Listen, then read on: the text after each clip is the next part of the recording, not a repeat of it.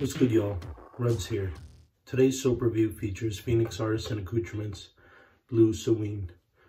Uh, Phoenix Artisan Accoutrements is a artisan that's been around since 2012.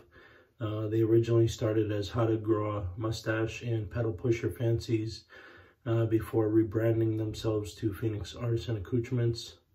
Erik and Fran are the owners. Um, they have a well-established presence in the uh, wet shaving community, most notably on Facebook. Um, this is their fall offering or one of their fall offerings that was released last week or, or two weeks ago. Um, they tout this, this as being a, a, year five release, but with a twist in that they uh, decided to oak barrel age the uh, scent in order to provide ghost notes in the uh, scent of both the soap and aftershave. Phoenix Artisan accoutrements can be purchased direct on their website. So, Blue being a fall scent, features notes of sandalwood, burnt sugar, bourbon, and pumpkin. Of course, the scent has been matured in oak barrels. Um, sadly, I don't get anything except sweet sugar followed by pumpkin. Um,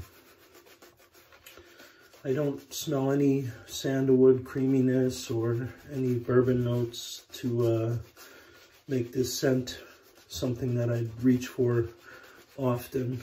Um, it's just a sweet pumpkin sugar cookie, if you will, to my uh, to my nose.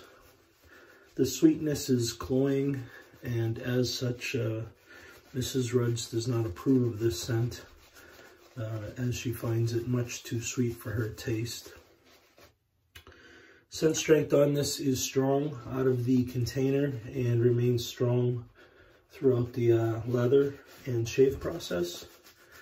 And trythatsoap.com recommends Sterling Soap Company Sweet Pumpkin Spice is a similar scent profile. So this year's release of Blue Samhain uh, comes in the CK6 base, which is the most recent soap base by Phoenix Artisan Accoutrements. I believe it was released in 2018.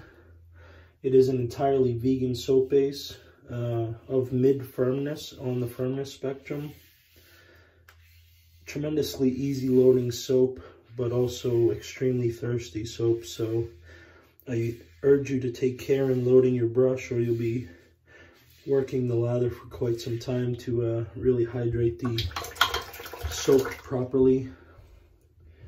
When you do hydrate it properly and get it built to the uh, consistency that it's intended to be, the lather will feel like Cool Whip on your skin high volume, high structure, fairly dense lather with a muted sheen to it.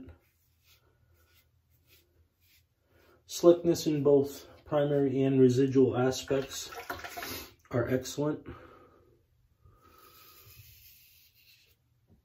I can move the uh, razor along buff with uh, no fear of the razor skipping or dragging on my skin.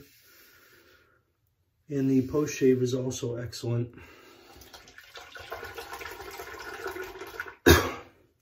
post shave leaves your skin soft, supple, well hydrated for quite some time after you've rinsed it away. You can forego an aftershave routine when using this lather if you do so choose to.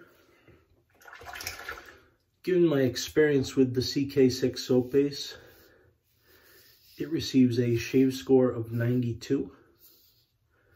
And for similar performing soap bases, I suggest you check out Holy Cow's Vegan Offering or Southern Witchcrafts.